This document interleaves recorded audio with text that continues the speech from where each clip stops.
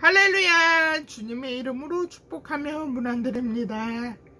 여러분 안녕하십니까? 언제나 우리 주님을 늘 기쁘게 찬양하는 미국 시카고에 거주하고 있는 찬양 사역자 김선유입니다. 오늘도 만나 뵙게 되어 매우 반갑습니다. 예, 여러분 오늘은 여러분과 함께 주님의 크고 넓으신 사랑과 은혜에 대해 잠깐 이야기를 나누고자 합니다. 예, 그럼 시작하기 전에 먼저 다 같이 잠시 기도로서 주님께 나아가겠습니다. Hello everyone, welcome to today's praise and worship. My name is Caroline Kim and I live in Chicago, Illinois, the USA. I'm so glad that you're joining me today. Today I want to share the love of our Lord Jesus Christ and the grace of our God. So, before we start, let's start by prayer. 다 같이 잠시 기도하시겠습니다. 사랑이 많으신 여호와 하나님 아버지.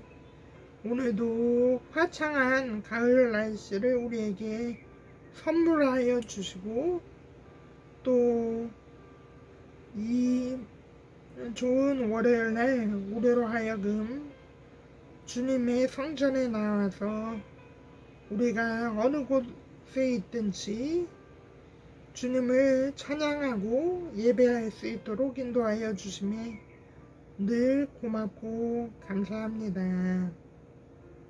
아버지, 주님은 이 땅에 평강의 왕으로 오셨습니다. 그리고 늘 우리와 함께 하십니다. 주님, 우리도 주님이 지으신 이 땅에 살고 있는데 세상에는 전쟁도 많고 서로를 시기하고 미워하는 사람도 종종 있습니다.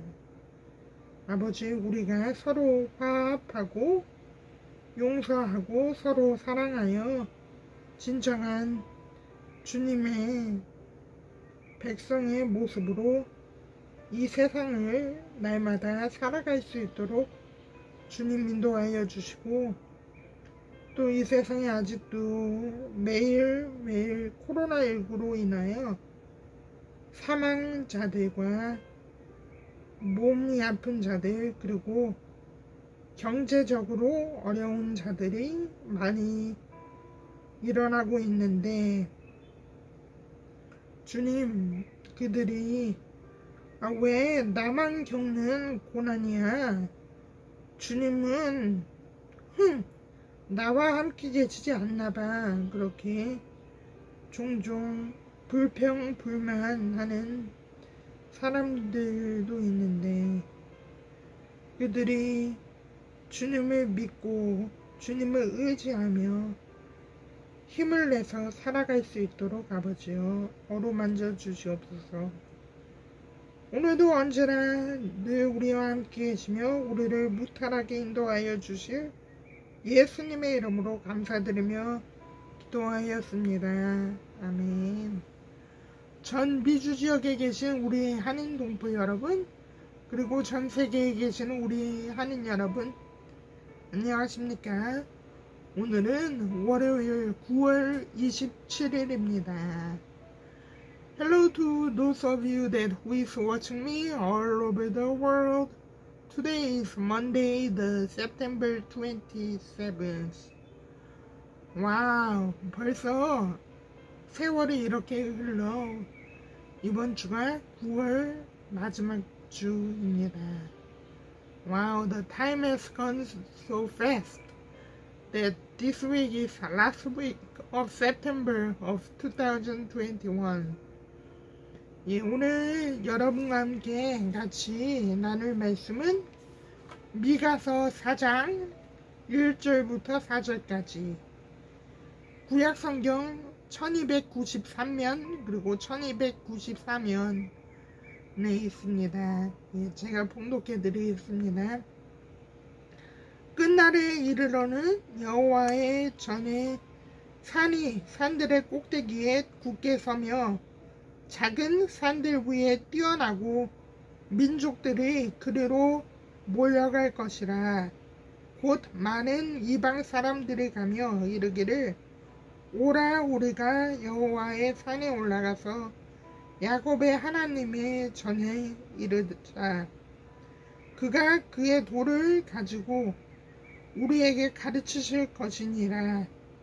우리가 그의 길로 행하리라 하리니 이는 율법이 시온에서부터 나올 것이요 여호와의 말씀이 예루살렘에서부터 나올 것임이라. 그가 많은 민족들 사이에 이를 심판하시며 먼 곳 강한 이방 사람을 판결하시리니 무리가 그 칼을 쳐서 보습을 만들고 창을 쳐서 낯을 만들 것이며 이 나라와 저 나라가 다시는 칼을 들고 서로 치지 아니하며 다시는 전쟁을 연습하지 아니하고 각 사람이 자기 포도나무 아래와 자기 무화과 나무 아래에 앉을 것이라. 그들을 두렵게 할 자가 없으리니 이는 만군의 여호와의 입이 이같이 말씀하셨 습니다.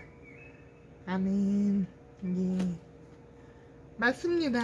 우리 주님은 전쟁을 원하시지 아니하십니다. 우리 주님은 평강을 원하시고 이 땅에 진정한 평화가 임하기를 간절히 원하고 바라십니다. 예. 저기 미국 뉴욕 의 동부 쪽에 있는 미국 뉴욕에 가면 유엔 본부 앞에 칼과 창을 녹여 농기구를 만드는 동상이 하나 있습니다.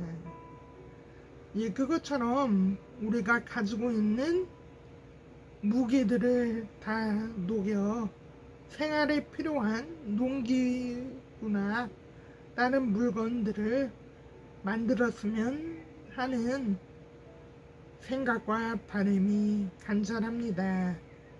그리고 우리가 흔히 노인과 바다의 어, 소설가로 잘 알려진 얼네스트 헤밍웨이라는 사람이 소설을 썼는데 그 소설의 제목은 Farewell to Weapon 무기여 잘 있거라. 예, 한국의 박산민이라는 가수의 노래 제목이기도 하죠. 무기여 잘 있거라. 라는 소설을 썼는데 그 의미는 맞아요 무기여 영원히 사라질 거라 라는 뜻입니다. 이처럼 전쟁이 없는 평화가 이 세상에 오기를 간절히 원하고 오늘의 찬양 디키로 오라 우리가. 예, 오늘 읽은 미가서 4장 2절 말씀의 찬양이죠. 신나게 디키로 박수치면서 함께 찬양하시겠습니다.